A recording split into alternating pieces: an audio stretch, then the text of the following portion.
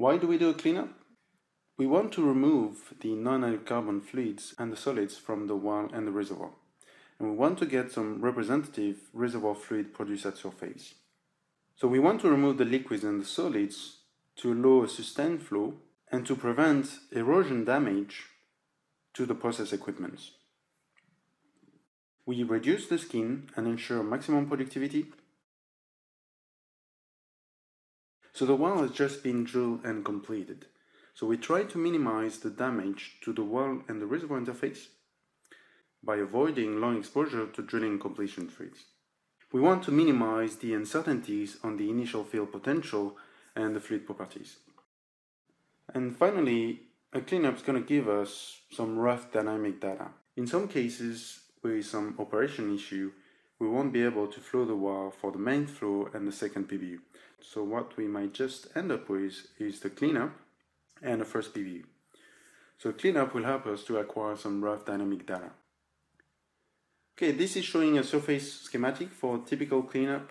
The schematic is a bit compact, but in reality it might be even worse on operations. So we go from the wellhead and we got a flexible hose called a Coflex up to the SSV. This is a gate valve and this stands for the surface safety valve in some cases, we've got a chemical injection in the line around this point.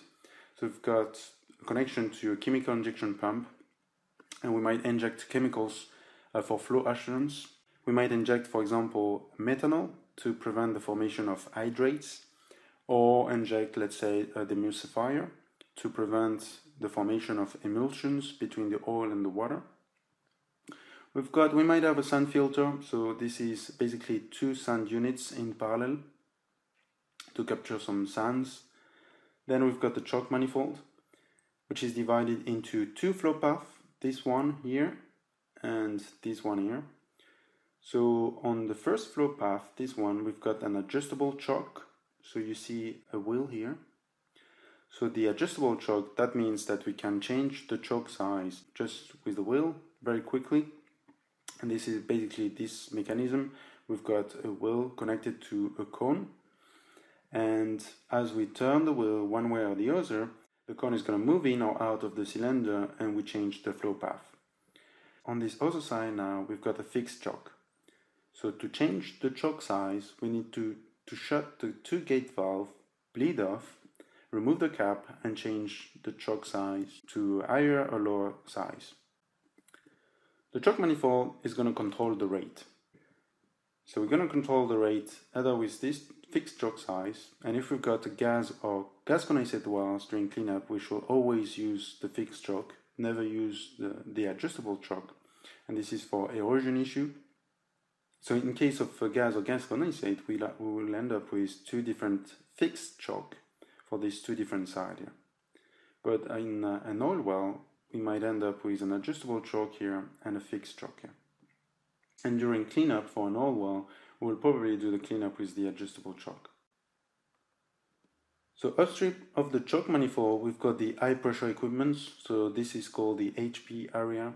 And downstream of the choke manifold, we've got the low pressure equipment or LP. Okay, and downstream of the choke, the first equipment that we're gonna see in general is the heat exchanger which is connected to a boiler. So this is to increase the temperature of the fluid. Why do we do this? Well, it can help us with flow assurance. So as we increase the temperature of the fluid, we might prevent the formation of hydrates down the line, or that may be helpful for wax as well. We reduce the viscosity, so that will help us as well to, to achieve a better separation and a better burning. After the heat exchanger, the fluid's going to the separator and we're going to separate into the three phase to gas, which is measured with an orifice plate, which is called the Daniel orifice plate, and then sent directly to the burner. The water is measured with a flow meter and stored into a tank. And as for the oil, it is measured with a flow meter in the outlet and then either sent directly to the burner or sent to a tank. And the tank will help us with the flow measurement. And then, so we've got pressurized tank or atmospheric tank, and it contains between more or less 50 barrels to 200 barrels.